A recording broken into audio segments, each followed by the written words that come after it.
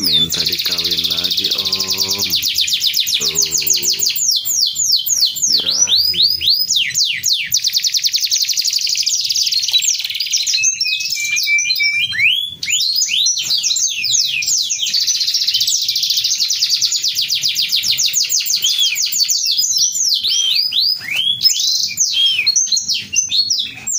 Assalamualaikum warahmatullahi wabarakatuh. Selamat berjumpa kembali dengan saya di RZK Bird Palm Channel. Kali ini saya akan membahas cara penjodohan yang baik dan benar menurut versi saya Dan cara bagaimana supaya kenari itu cepat berjodoh dan cepat bertelur.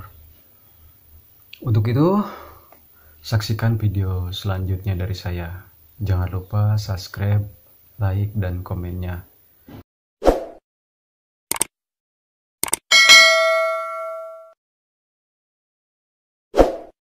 Salah satu syarat untuk penjodohan kenari itu pertama harus umur kenari itu harus benar-benar mapan. Contohnya pejantan itu harus di usia satu tahun ke atas itu lebih bagus. Tapi kadang ada di usia 7 atau 8 bulan kenari sudah ada yang birahi atau sudah siap kawin dengan ditandai dengan gacor gitu. Untuk yang betinanya eh, yang siap dijodohkan itu sekitar umur 9 bulan. Kadang ada juga yang 8 bulan udah birahi dengan ditandai dengan mengapakan sayap atau meleper bila ditempel sama pejantannya.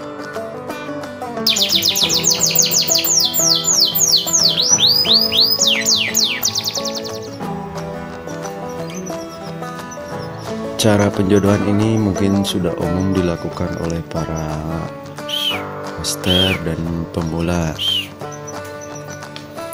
Penjodohan dengan sistem tempel ini sangat dianjurkan supaya pada saat penjodohan nanti indukan pejantan dan betina sudah saling mengenal. Jadi saran saya penjodohan itu jangan langsung disatukan. Lebih baik ditempel dulu seperti ini. Berlaku pada penjodohan awal atau sudah jodohan jodohan aslinya gitu. Dan jangan lupa untuk pemandian dan penjemuran itu harus dilakukan selama proses penjodohan. Lakukan penjemuran dan mandi atau jemur setiap harinya sebelum disatukan dalam kandang ternak.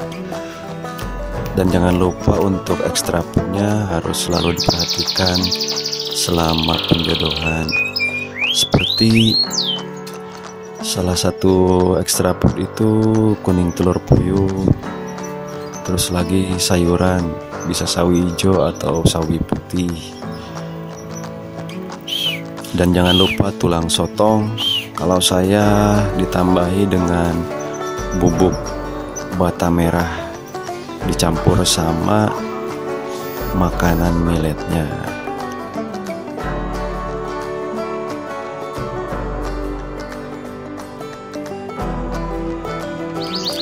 setelah melalui tahapan ini kedua indukan sudah bisa disatukan.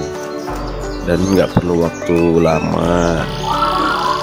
Minimal setelah tiga hari penjodohan itu sudah dapat dipastikan indukan betina akan mulai bertelur.